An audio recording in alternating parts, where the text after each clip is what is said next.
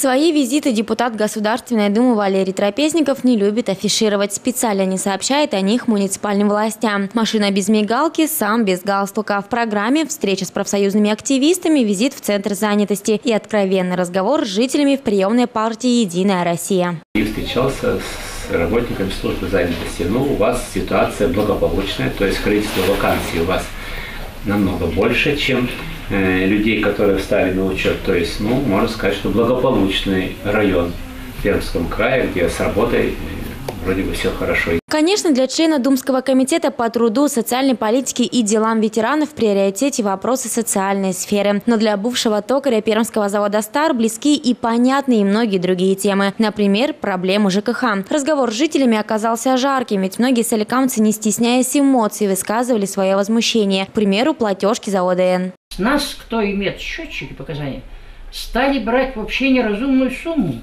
Если у меня... А, а счетчики все поставили? Нет. Но вы знаете, что с 1 января 2015 года вступил закон. Это я знал в прошлом году. Да. Мне это не нужно, чтобы. Я вам скажу вот что. И получилось так. На, на данный момент, например, из 64 квартир 37 не имеют, а 27 имеют счетчики. Да, и вы платите за всех.